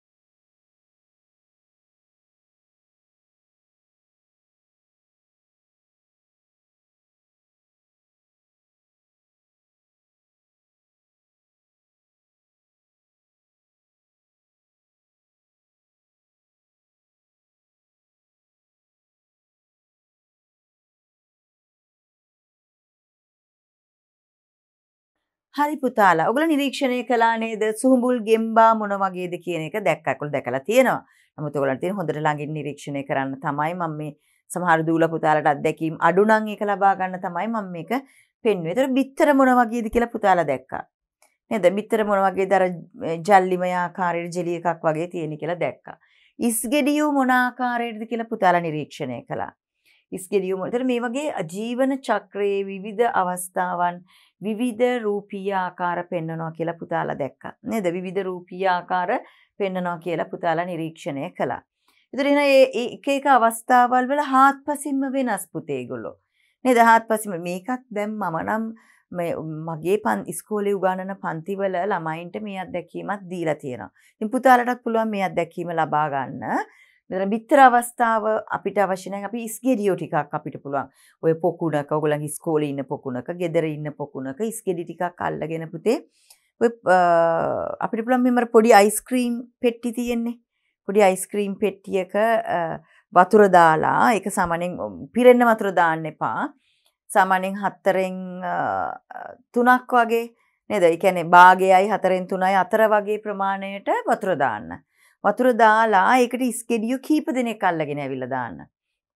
ටිකක් පොඩි ඉස්ගෙඩි ලොකු ඉස්ගෙඩි නේද ඉස්ගෙඩියෝ හතරක් පහක් ගෙනල්ලා ඒකට දාලා පොඩි ශාක ටිකකුත් ඒකට දාන දියසෙවල ටිකක් ගෙනල්ලා දාන්න. ගොඩාක් දාන්න එපා. ගොඩාක් දැම්මම අපිට මේ ඉස්ගෙඩියෝ ටික නිරීක්ෂණය කරන්න බෑ. ඉතින් ටිකක් ගෙනල්ලා දාන්න. අනික මේ ගන්නකොට අයිස්ක්‍රීම් පෙට්ටියක් පුතින් සුදු පාට පෙට්ටියක් හරි කහ පාට පෙට්ටියක් වගේ එකක් ගන්න. ඔය නිල් පාට කොළ පාට වගේ ගත්තම ටිකක් අමාරුයි බලන්න. ඉතින් ලා කොළ පාට එක නම් ටිකක් පුළුවන්. අනිත් ගැන දුඹුරු පාට නිල් පාට වගේ ගන්න එපා. හැමතිස්සෙම සුදු හෝ කහ ගන්න උත්සාහ කරන්න. අපි හිතමු දැන් ඔන්න අයිස්ක්‍රීම් පෙට්ටියට දැන් මේ ටික ගෙනලා දැම්මම මේ ඉස්ගෙඩියු ටික දැන් ඔන්න ඔයගොල්ලන් දවස් පළවෙනි දවසේ බලනවා හැමදාම උදේට බලන්න. පළවෙනි දවසේ උදේම ගිහිල්ලා බලනවා වෙනසක් නැහැ. දෙවෙනි දවසෙත් උදේම ගිහිල්ලා බලනවා වෙනසක් නැහැ. තුන්වෙනි දවසෙත් බලනවා අනේ ඔයගොල්ලෝ බලයි මොකටද අනේ මේ ඉස්ගෙඩි ටික හැමදාම බලන්නේ මේගොල්ලෝ වෙනස් වෙන්නේ නැහැ නේ කියලා. හරි බලන්නකො දිගටම හතරවෙනි දවසේ විතර බලනකොට ඔයගලන්ට පෙනෙයි. අර ලොකු ඉස් ගෙඩියෙකුගේ යම් කිසි වෙනසක් වෙලා තියෙනවා. පුතාලට ඒක දැන් ඔයගොල්ලෝම තමයි ඔයගොල්ලෝම අත්දැකීම ගන්න පුතාලා. නේද? මෙයාගේ වලිගේ කොට වෙනවා පේනවා. මෙහිම පොඩි කෑලි දෙකක් එනවා පේනවා. තේරෙනවද පුතාලට? ඊට පස්සේ ඊළඟ දවසෙත් බලන්න. අන්න එයා තවත් වෙනස් වෙලා තියෙනවා පුතාලට පේනවා. නේද? ඊළඟ දවසේ බලනකොට මෙයා තවත් වෙනස් වෙනවා එතකොට තව එක්කෙනෙකුත් අර ආයි වෙනස් වෙන්න අරගෙන. නේද? ඔය වගේ බැලුවම පුතේ කීප දවසක් බලලා එක දවසක බලනකොට මොකද වෙලා තියෙන්නේ? අන්න අයිස්ක්‍රීම් මේ පෙට්ටිය උඩ ඉන්න පුළුවන් චූටි ගෙම්බි පැටියෙක්. නේද? ඒ කියන්නේ යා ගෙම්බෙක් බවට පත් වෙලා තියෙනවා. මේ ඉස්ගෙඩියා ගෙම්බ බවට පත් වෙනවා. ඕගොල්ලොන්ට දවසෙන් දවස දවසෙන් දවස පියවරෙන් පියවර බලා ගන්න පුළුවන්. හරිද පුතාලා? එතකොට එහෙනම් ඔන්න ඕගොල්ලන්ට එතකොට මේ පියවරෙන් පියවර පියවරෙන් පියවර මේ කොහොමද මේ ඉස්ගෙඩියා ගෙම්බෙක් උනේ කියලා අඳුරගන්න පුළුවන් නේද? එතකොට ගෙම්බෙක් බවට පත් වුණාට පස්සේ පුතේ මේ ඉස්ගෙඩියා ඊට පස්සේ ඕගලන්ට පුළුවන් මේ ගෙම්බා දැන් මේ කොහොමද දැන් මේ ගෙම්බව ඊට පස්සේ අපිට පුළුවන් ගිහිල්ලා ආයි කොහෙට හරි දාන්න පුළුවන් ඒ පොණ්ඩ එකකට හරි කොහෙට හරි ගිහින් නේද එළියකට දාන්න පුළුවන් නැත්නම් ගෙම්බාගේ පුරා පැන පැන යන්න පුළුවන් නේද ඊට පස්සේ ආයි තව එක්ක ඔයගලන්ට දැන් ආයි නිරීක්ෂණය කරන්න නම් තව එක්කෙනෙක්ගෙත් නිරීක්ෂණය කරන්න. ඔයගලන්ට ඇති කියලා හිතනවා නම් දැන් හොඳ නිරීක්ෂණය කරලා ඊටු ඉස්කෙලි ටික ආයි ගිහිල්ලා පොණ්ඩ එකට දාන්න. නේද? ඉතින් ඒ වගේ ඔයගලන්ට මේවා අර සජීවී අත්දැකීම් ලබා ගන්න පුතේ. නේද? එතකොට තමයි ඔයගලන්ට ඒක හොඳට ඔළුවට යන්නේ. දැන් මේක නම් අලුත්ම අත්දැකීමක්. මේක අනිවාර්යෙන් කරන්න ඕගොල්ලෝ. තේරෙනවද? අනිවාර්යෙන් මේ මෙන්න මේ දෙක අත්දැකීම් දෙක නම් අනිවාර්යෙන් ලබා ගන්න ඕගොල්ලෝ.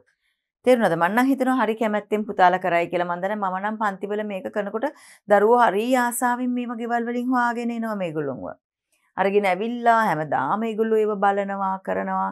නේද? සිකුරාදට යනකොට ඇත්ති වෙන්න කෑම දාලා යනවා ඒගොල්ලෝ. නේද? ඉතින් ඒ වගේ ආයි සඳුදාට ඇවිල්ලා ආයි ඒගොල්ලෝ බලනවා. ඉතින් ඒ වගේ හරි අත්දැකීම් මේගොල්ලෝ ලබාගෙන තිනවා. සජීවී අත්දැකීම්. පුතාලා ගෙදරදී මේක කරන්න. කරලා ඒ අත්දැකීම් පුතාලා ලබා ගන්න. දැන් ඒතුළු පේනවා මේ දෙන්නගෙම ජීවන චක්‍රවල එකකට එකක් වෙනස් අවදි තමයි පුතේ තියෙන්නේ. නේද?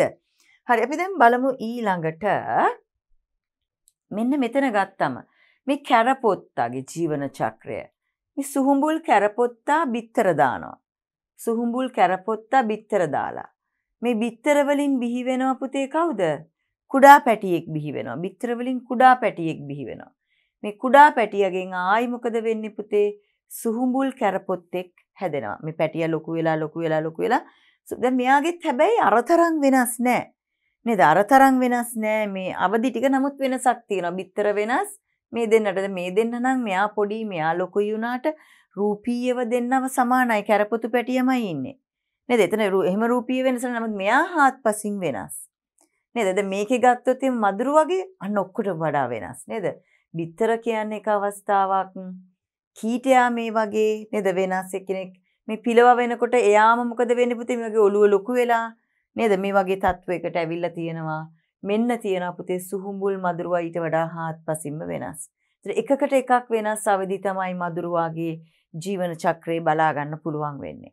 පැහැදිලිද පුතාලට මදුරුවාගේ ජීවනද සමහර මේක නම් කරන්න යන්න එපා. මොකද ටිකක් මේක අවදානම්නේ පුතේ මදුරුවා කියන සතා ඕගලන්ට මේ මදුරුවා කියන එක්කෙනාව බැලුවම මේ කියන්නේ විවිධ රෝග බෝ කරනවනේ. යා රෝග වාහකයෙක් විදිහට ක්‍රියාත්මක වෙනවනේ නේද? එතකොට මෙයා ඩෙන්ගු කියන ඩෙන්ගු වෛරස් එක මෙයා තමයි මෙයා කියන්නේ මෙයා තමයි අරගෙන ගිහලා දාරකයාට මේ කියන්නේ ලබලා දෙන්නේ මේ රෝගය නේද?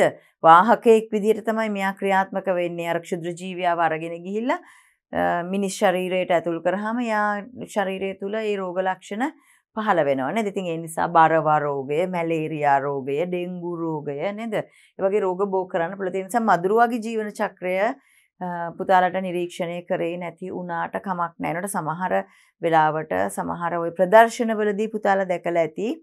නේද? සමහර ප්‍රදර්ශනවලදී මේ විදිහට මේ ජීවන චක්‍ර පුතාලට පෙන්වන. ඒතර මෙහෙම නෙට් එකක් දාලා තමයි මේ ඇතුලේ මේ මදුරුවෝ ඉන්නේ නේද? එතකොට කීට අවස්ථාව, පිලව් අවස්ථාව මේව ඔක්කොම බලා ගන්න පුළුවන්. මෙයාට කියන කීටයා, පිලවා, නේද සුහුඹුල් මදුරුවා මේ ටික බලා ගන්න පුළුවන්. ඒතර ඒකෙත් එකකට එකක් වෙනස් නේද පුතේ අවස්ථා ටික වෙනස්. මේක බලන්න මීයාගේ ජීවන චක්‍රය ගත්තොත් මේ මෙන්න ඉන්නවා ලොකු මීයෙක් සුහුඹුල් මීයා පැටියෙක් දානවා. පැටියගේ ෂේප් එක මීයාගේ වගේමයි. නේද අර මේ තරම් වැඩිලා නැති එක තමයි මෙතන වෙලා තියෙන්නේ. වෙනසක් වෙලා නැහැ. එයා ලොකු වෙලා ආයි මේ වගේ මී පැටියෙක් හැදිලා තියෙනවා. එයා තව ටිකක් ලොකු වෙලා තමයි සුහුඹුල් මීයා හැදිලා තියෙන්නේ. ඒතර විදිහට මීයාගේ ජීවන චක්‍රේ මේ වගේ අවදි ටික පහු කරගෙන නේද ගියාම මෙයාගේ මේ අවදි වල ලොකු රූපීය වෙනසක් නැහැ නේද පුතේ? රූපේන එක හා සමානයි. ඒතර මිනිසා ගත්තම බලන්න මේ මේ බලන්න මෙතන දැන් මිනිසා ගත්තම මේ මේ කුඩා අවදියේදී ඊට ටිකක් ලොකු වෙනවා. ආයි ලොකු වෙනවා. තව ලොකු වෙනවා. මේ විදිහට තියෙනවා. නේද? ගොඩාක් ලොකු වෙනවා. දැන් මේ හැම එක්කෙනාම මොන වගේ දේ වුණාට මේ අත්ගේ තියෙනෙත් මිනිස් ස්වරූපයමයි. මේත් මිනිස් ස්වරූපේ ස්වරූපේ වෙනසක් නෑ මිනිස් ස්වරූපේම තමයි තියෙන්නේ. නේද? මේ ඇහැ කන නාසය මූණ අතපය ඔක්කොම තියෙනවා. මේ ලොකු වෙන ලොකු වෙන්න තායි ඒ බෑ වෙනසක් වෙලා නෑ. එයා වර්ධනය වෙලා විතරයි. නේද? ඒතර පුතාලට පේනවා එහෙනම් ජීවන චක්‍ර ගත්තමත් සමහර ජීවන චක්‍රවල නේද? එයාගේ උපතේ ඉඳන් මරණය දක්වා විවිධ කියන්නේ රූපයෙන් වෙනස් අවදි ගත කරන අය ඉන්නවා මේ වගේ. නේද? ඒ වගේමයි උපතේ සිට මරණය දක්වා යාගේ ජීවිතයේ අවදී මේ විදිහට රූපීයව වෙනස්කම් දක්වන්නේ නැතුව ගත කරන සතුනුත් ඉන්නවා. පේනව නේද පුතාලට මේ වගේ රූපයෙන් වෙනස් අවස්ථා දක්වන සතුනුත් ඉන්නවා. රූපයෙන් මේ විදිහට සමාන අවදි දක්වන සතුනුත් ඉන්නවා. පැහැදිලිද පුතාලට? හරි. දැන් එහෙනම් අපි බලමු පුතාලා මෙතන දැන් ක්‍රමය පුතාලට ලියන්න තියෙන්නේ. අපි ලියමු දැන් ඔන්න ඔයගොල්ලෝ කොහොම ටික දැන් අඳුරගත්තනේ මම දැන් හැම එකම කියලා දුන්නානේ නේද මේක අපිට දැන් ආය 아무තෙන් ලැබ් එකේ කරන්න දෙයක් නැහැ නේ පුතාලා මෙතන ඉඳන්මනේ කරන්න තියෙන්නේ නේද එහෙනම් අපි දැන් ලියමු ක්‍රමය පළවෙනි පියවර පුතාලට කරන්න තියෙන්නේ නේද? සපයාගත්. දැන් අපි ජීවන චක්‍ර මං හිතන්නේ ජීවන චක්‍ර කීයක් ගත්තද මෙතන 4යි මෙතන 2යි 6ක් ගත්තා. නේද? මේ 6ම මොකද කරන්න? හොඳින් නිරීක්ෂණය කරන්න ඕනේ නේද? එහෙනම් අපි ලියමු. සපයාගත් ජීවන චක්‍ර. සපයාගත් ජීවන චක්‍ර. ආශ්‍රිත රූප සපයාගත් ජීවන චක්‍ර ආශ්‍රිත රූප හොඳින් නිරීක්ෂණය කරන්න.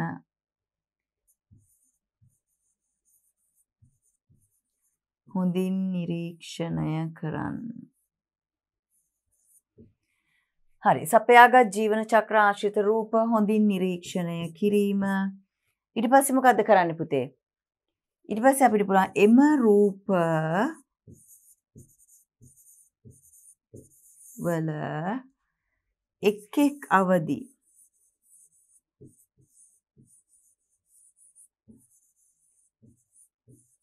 එක් එක් අවදිවල ලක්ෂණ.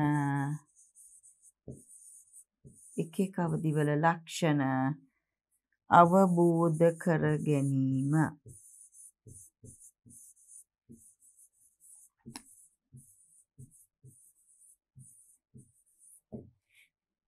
ලක්ෂණ අවබෝධ කරගන්න ඕනේ නේද? සපයාගත් ජීවන චක්‍ර ආශ්‍රිත රූප හොඳින් නිරීක්ෂණය කිරීම. දැන් මම ඔයගොල්ලන් නිරීක්ෂණය කරා නේද? එකින් එක එකින් එක පැහැදිලි කරා. ඒක තමයි ඔයගලන්ට කරන්න තියෙන්නේ නේද? දෙවිසෙම රූපවල එක් එක් අවදිවල ලක්ෂණ අවබෝධ කරගන්න. දැන් අපි ලක්ෂණ බැලුවා.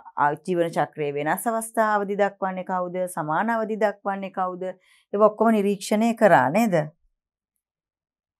හරි. ඒක ඔක්කොම නිරීක්ෂණය කරා නේද පුතාලා?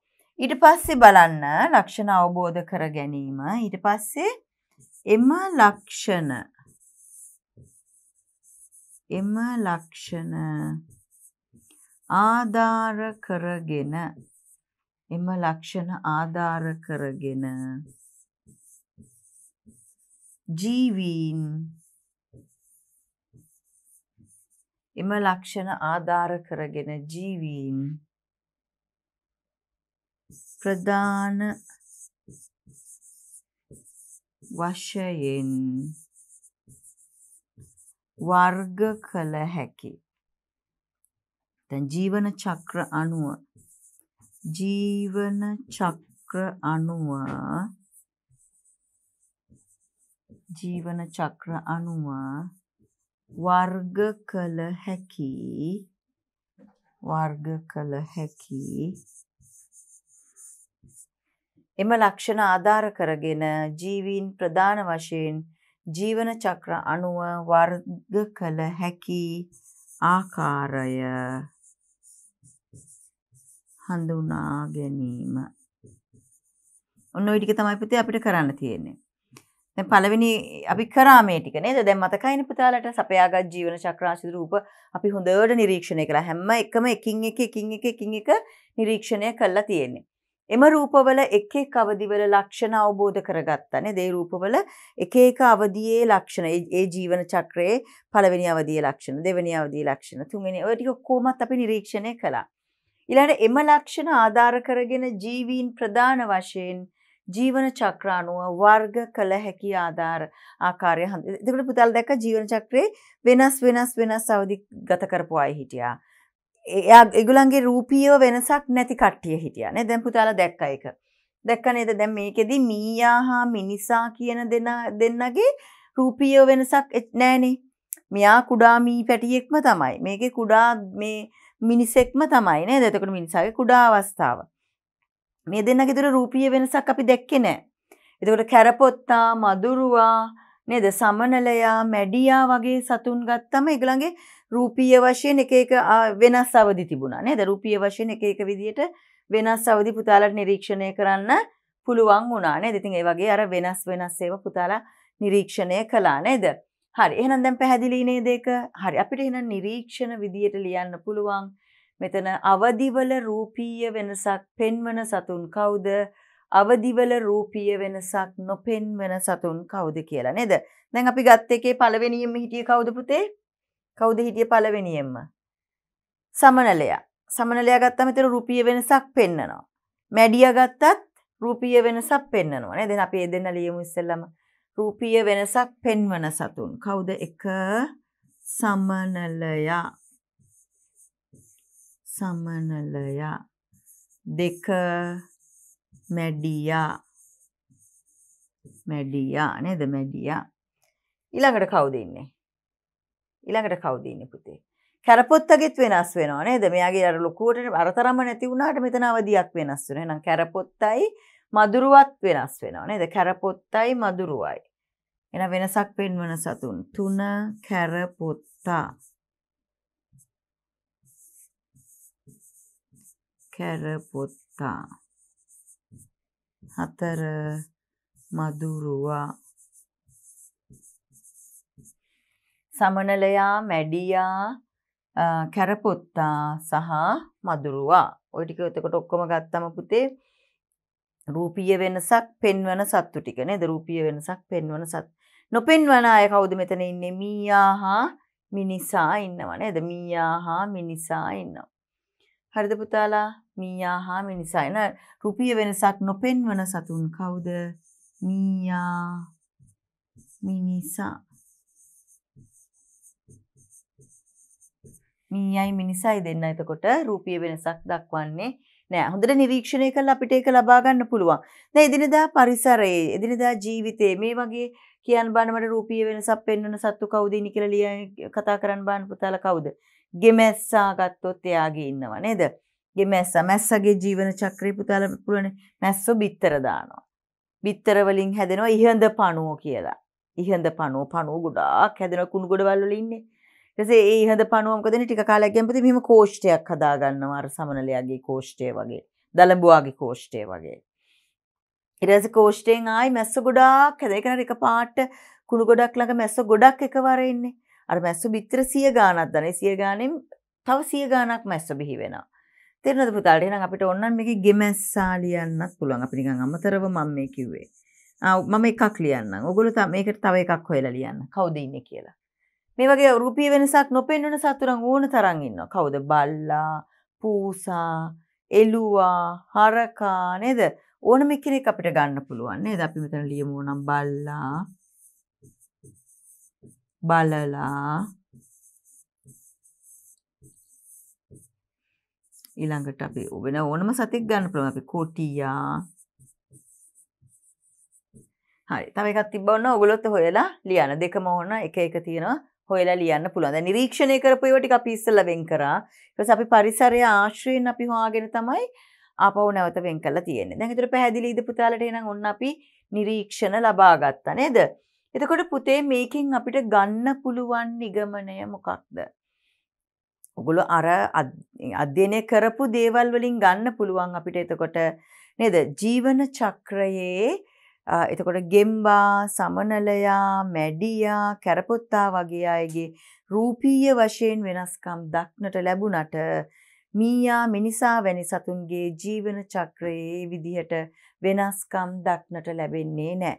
නේද? එතකොට රූපීය වශයෙන් වෙනස්කම් දක්වන ජීවන චක්‍ර වගේම රූපීය වශයෙන් වෙනස්කම් නොදක්වන ජීවන චක්‍රත් තියෙනවා කියලා අපිට නිගමනය කරන්න පුළුවන්. පැහැදිලි නේද? එහෙනම් අපි ලියමුද? නිගමනය? අපි ලියමු සමනලයා.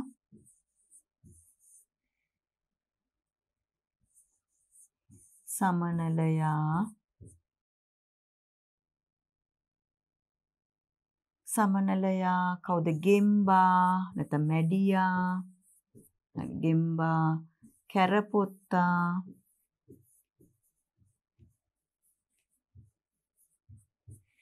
සමනලයා, ගෙම්බා, කැරපොත්තා ඊළඟට කවුද? මදුරුවා. වැනි.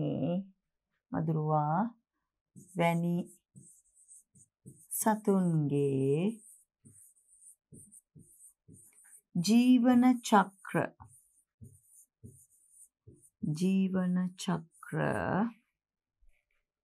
වල එක් එක් අවදි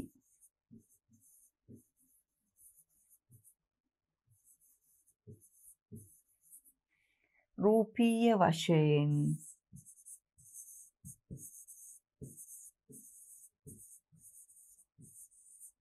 වෙනස් වේ. වෙනස් වේ. ඊට පස්සේ අපි ගත්තොත් මීයා මිනිසා වැනි සතුන්ගේ ජීවන චක්‍රවල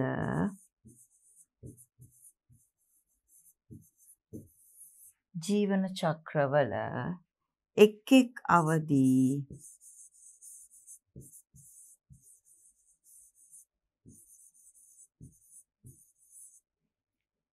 රූපීයව රූපීයව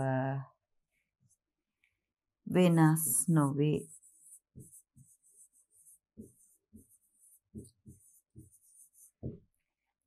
නේද? ඒතර අපිට කියන්න පුළුවන් සමනලයා, ගෙම්බා, කැරපොත්තා, මදුරුවා වැනි සතුන්ගේ ජීවන චක්‍රවල එක් එක් අවදි රූපීය වශයෙන් වෙනස් වෙනවා. නමුත් මීයා, මිනිසා වැනි සතුන්ගේ ජීවන චක්‍රවල එක් එක් අවදි රූපීයව වෙනස් නොවේ. ඒ කියන්නේ සතුන්ගේ තියෙනවා පුතේ එතකොට රූපීයව වෙනස් නොවන ජීවන චක්‍ර වගේම රූපීයව වෙනස් වන ජීවන චක්‍රත් තියෙනවා නේද? එහෙනම් ඕනනම් අන්තිමට අපිට ලියන්න පුළුවන් ප්‍රධාන වශයෙන් අපිට මේකෙන් අවසානයේ ගන්න පුළුවන් නේද? සතුන්ගේ ජීවන චක්‍රවල ජීවන චක්‍රවල. සතුන්ගේ ජීවන චක්‍රවල. එක් එක් අවදී. සමහර සතුන්ගේ. සමහර සතුන්ගේ.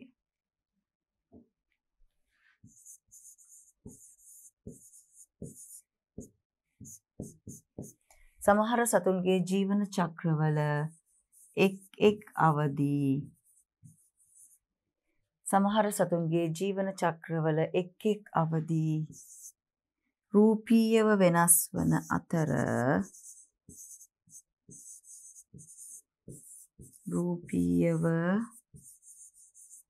වෙනස් වන අතර සමහර සතුන්ගේ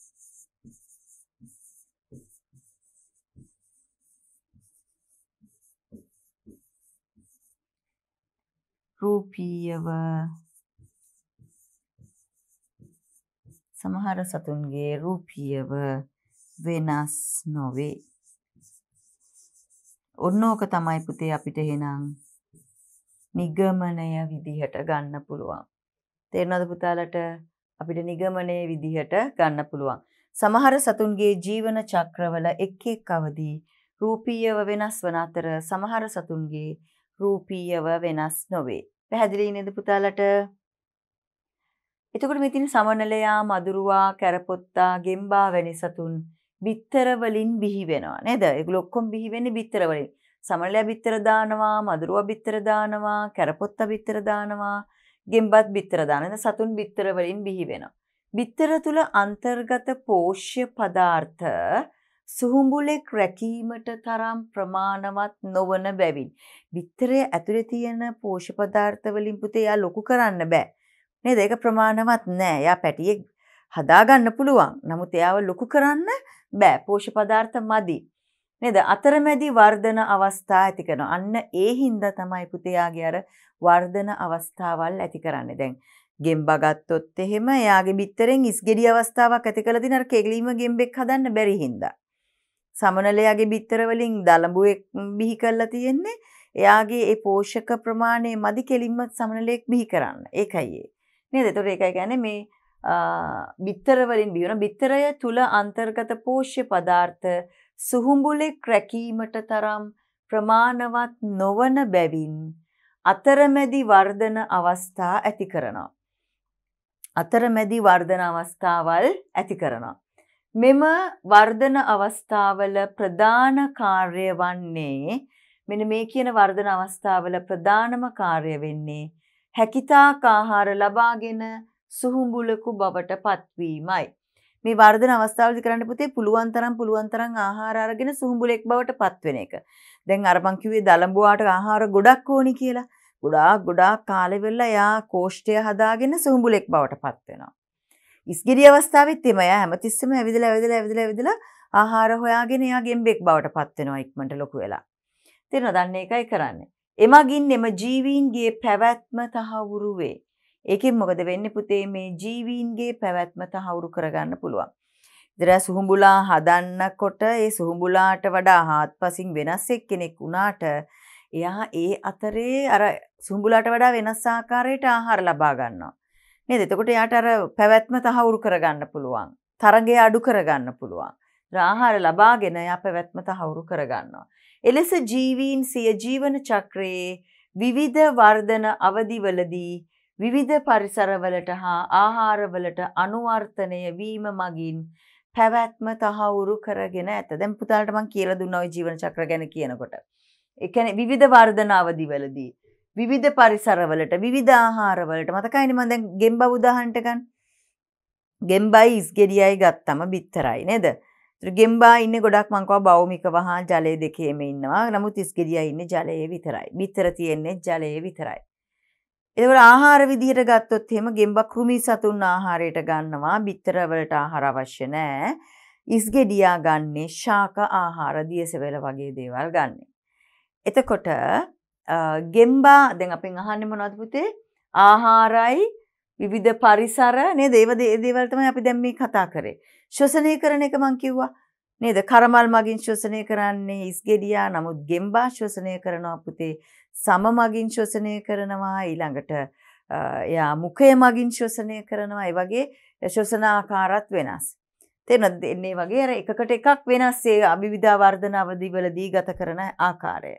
හොඳට නිකන් අත්දැකීම් කියන්නේ නිරීක්ෂණය කරපු අය ටිකක් පොඩ්ඩක් අත්දැකීම් අරගෙන බැලුවා නම් පුතේ මේ වෙනස ඔයගලන්ට අඳුර ගන්න පුළුවන් ආහාර ගැන විශේෂයෙන් ජීවත් වෙන වාසස්ථාන ගැන පුතාලට හොඳ අවබෝධයක් ලබා ගන්න පුළුවන්. පැහැදිලිද? හරි. පැහැදිලි නේද පුතාලට? එහෙනම් ගැටලුවක් නෑ නේද? දැන් තේරෙනව නේද මොකද්ද මං කිව්වේ කියන එක? නේද පුතේ? එතකොට එහෙනම් විවිධ වර්ධන අවදිවලදී විවිධාකාරයට මේ වගේ වෙනස්කම් දකින්න ලැබෙනවා. ඒ වෙනස්කම් අනුව ඒගොල්ලන්ගේ පැවැත්ම තහවුරු කරගන්න හැකියාව ලැබෙනවා. හරි. එහෙනම් අපි දැන් ගොඩාක් දේවල් මේ පරිච්ඡේදයේ යටතේ ඉගෙන ගත්ත පුතේ නේද? එතකොට ජීවන චක්‍රයක් කියන්නේ මොකක්ද කියලා අපි ඉගෙන ගත්තා. ජීවන චක්‍ර නිරීක්ෂණය කරා, අධ්‍යයනය කරා. ඒ ආශ්‍රයෙන් ගොඩාක් දැනුම ලබා ගත්තා නේද? මේ පිළිබඳ තවත් දැනුම වැඩි කරගන්න තවත් ඉදිරියට අපි මේ ජීවන චක්‍ර පිළිබඳව ඊළඟ පරිච්ඡේදයෙන් කතා කරමු.